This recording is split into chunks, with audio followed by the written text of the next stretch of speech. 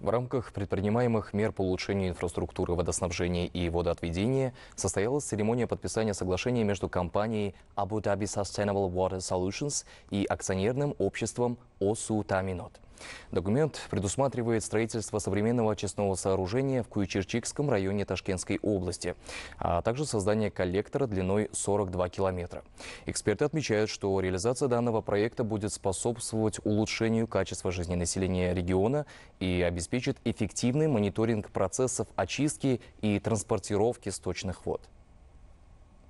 Данный проект будет реализован консорциумом компаний, в которые входят помимо эмиратской, также и французская и японская корпорации, выбранных в качестве технологических партнеров Abu Dhabi Sustainable Water Solutions. Согласно предварительным параметрам проекта, мощность сооружения составит 1 миллион кубометров в сутки на первом этапе с последующим выходом на полтора миллиона кубометров. К слову, эмиратская компания является единственной по сбору, очистке и повторному использованию сточных вод в Объединенных Арабских Эмиратах. Ежедневно через разветвленную сеть протяженностью 12 тысяч километров собирается почти 1 миллион 400 тысяч кубометров воды, поддерживаемые более чем двумя стами насосными и 42 очистными станциями. Компания работает над снижением нагрузки на природные водные ресурсы и содействием устойчивому развитию. It reflects uh, the healthy relationship between uh, the leadership of UAE.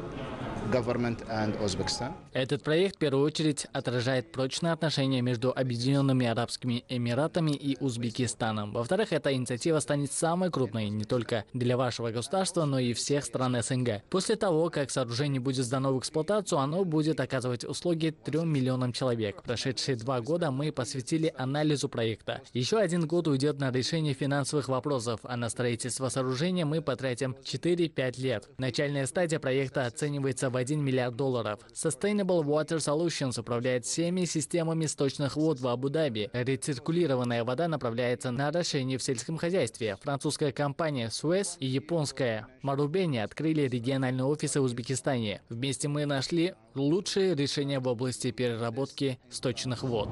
В рамках проекта планируется создание коллектора сточных вод длиной 42 километра, который позволит эффективно собирать и транспортировать сточные воды для дальнейшей очистки. Будут также внедрены системы СКАДА и ГИС, обеспечивающие эффективный мониторинг и управление процессами очистки и транспортировки сточных вод. Такого масштаба проекта в Узбекистане еще не было. Он экологически важный.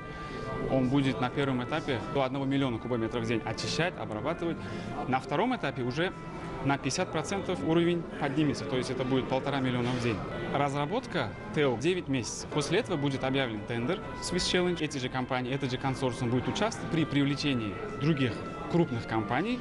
Будет отбор, мы выберем лучшего кто подходит к нам, кто реализует этот проект, и дальше уже будем разрабатывать. Как было озвучено в ходе встречи, реализация данных мер позволит Ташкентской области обеспечить жителей, предприятия и организаций централизированным водоотведением, что в свою очередь послужит дальнейшему улучшению здоровья населения и экологической ситуации в регионе, а также поможет сэкономить более 10 миллионов киловатт электроэнергии.